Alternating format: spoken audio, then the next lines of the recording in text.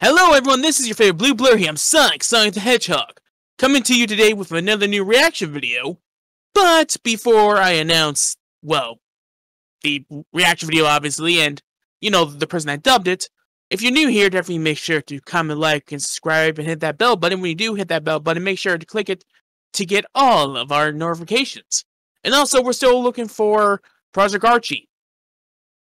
Uh, voice actors. We're still looking for Project Archie. Uh, yeah, apparently, yeah, we are. Instead of there being Project Shadow, there's Project Archie.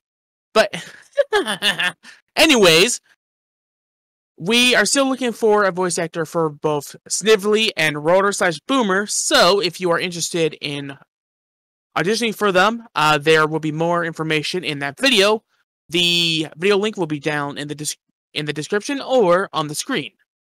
So, with that said, today we are reacting to Change the World, a Sonic slash Shadow Hedgehog comic dub, and this was done by Dark Angel Productions. And as always, the original video will be down below in the description. So, let's get to this. Three, two, one, reacting to it now. Okay. Oh no. Oh no. That might have been copyrighted music. Possibly. Uh huh. Sure you are, Shad. Uh, hmm. This is it. Uh oh. Uh oh. Oh, oh, I'm getting uh, Shadow the Hedgehog flashbacks, Sonic Adventure 2 flashbacks when he was in, uh, evil. Ooh. Wait a second, no, the Shadows theme song.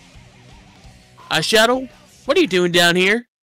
Oh, you know, anytime I have a sense that my one of my theme songs play, you know me. I always come down here and, hey, why are you walking away? Because I don't want to be around a very egotistical hedgehog. All right, you're one to talk. it doesn't matter now what happens, I will. but anyways, you guys, that's it for this reaction video. I'll be seeing you in the next one. Bye, guys.